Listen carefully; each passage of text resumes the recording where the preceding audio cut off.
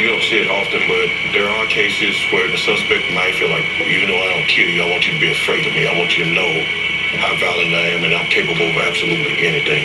It's an intimidation within itself. I want you to feel the psychological effects of watching people around you die before I come for you. I'm so desperate. It's my friend. She's on the kitchen floor. Everywhere. Well, suppose there are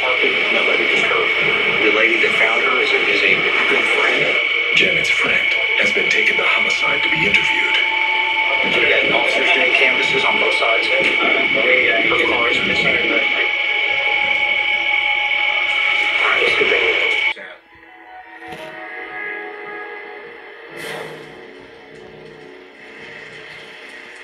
I've witnessed just about a little bit of everything as it relates to motive.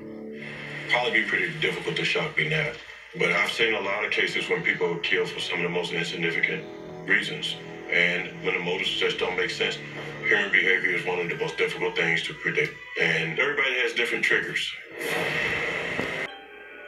I have had cases where people are hanging out in a group, having a good time, and something happens and it escalates into violence. Even if we know each other for years, do we really know each other? Just because you spend time with somebody, an hour here, a couple hours there, do you really know what's going on inside that person's head?